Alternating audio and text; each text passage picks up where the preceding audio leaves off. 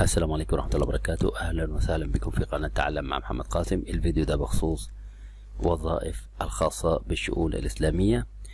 وزارة الشؤون الإسلامية بتعلن عن أكثر من 600 وظيفة لحاملي الثانوية فأعلى برواتب تصل إلى 6000 ريال. بتعلن وزارة الشؤون الإسلامية والدعوة والإرشاد عن دعوة الراغبين لشغل وظيفة في عدة مناطق بالمملكة على نظام العقود الرسمية براتب شهري للجامع ستة آلاف ريال والثانوية أربعة آلاف وخمسمائة ريال. أو على نظام المكافآت في مناطق الرياض نجران الحدود الشمالية.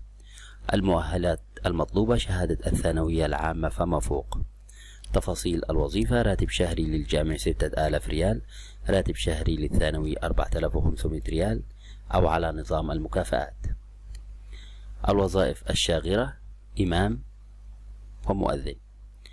الوظائف المتاحة حسب المناطق عدد 491 وظيفة في منطقة الرياض عدد 52 وظيفة منطقة الحدود الشمالية عدد 67 وظيفة منطقة نجران الشروط العامة أن يكون المتقدم سعودي الجنسية حسن السيرة والسلوك اجتياز المقابلة الشخصية والكشف الطبي ألا يقل عدد المتق... عمر المتقدم عن 18 سنة لوظائف الإم... الأئمة شهادة الثانوية في أعلى مع حفظ ما لا يقل عن ثلاثة أجزاء من القرآن الكريم لوظائف المؤذنين شهادة الثانوية في أعلى مع حفظ ما لا يقل عن ثلاث أجزاء من القرآن الكريم.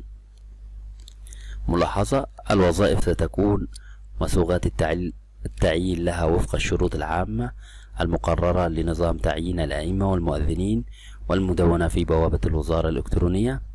موعد التقديم يبدأ التقديم بمشيئة الله يوم الأربعاء.